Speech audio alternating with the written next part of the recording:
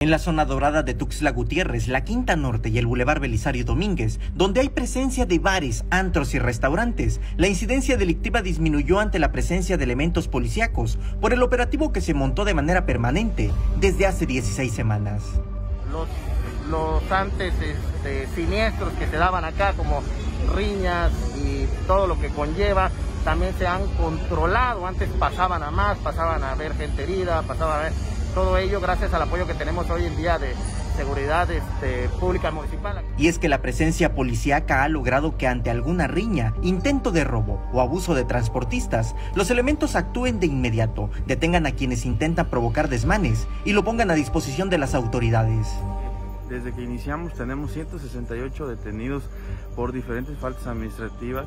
Esto nos ha podido evitar el que se realice alguna riña y posterior a esto pueda eh, ponerse en riesgo alguna vida derivado de un golpe, de un mal golpe, ¿no? Y, esto pues este, anteriormente desgraciadamente teníamos riñas este, y esto pues provocaba que pusieran en riesgo tanto jóvenes.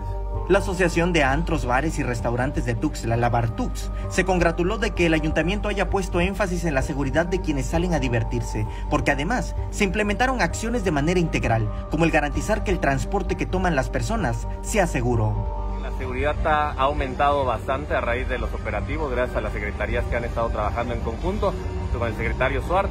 Eh, lo que principalmente se ha notado en nuestra área es pues el taxi seguro, ¿no? Antes ven que teníamos mucho problema con, con los piratas, con los taxis que pues allanaban la zona sin tener una precaución o una razón de estar momentáneamente y la verdad es que nos han ayudado mucho en esa parte de la seguridad. Antes de la aplicación del operativo, la zona de la 15 Poniente principalmente se saturaba de vehículos y ponía en riesgo a las personas que llegaban a divertirse, lo cual ahora también han controlado los elementos de tránsito.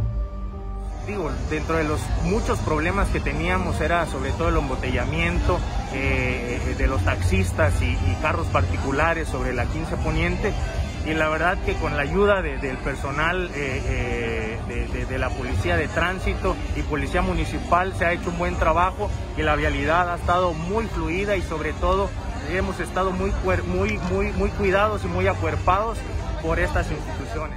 El secretario de Seguridad Pública precisó que son 90 elementos de distintas dependencias quienes actúan ante alguna eventualidad, como la ocurrida la semana pasada, donde un sujeto realizó disparos, pero que gracias al operativo detuvieron de inmediato y fue puesto a disposición de las autoridades competentes inmediatamente reaccionamos y pudimos detenerlo.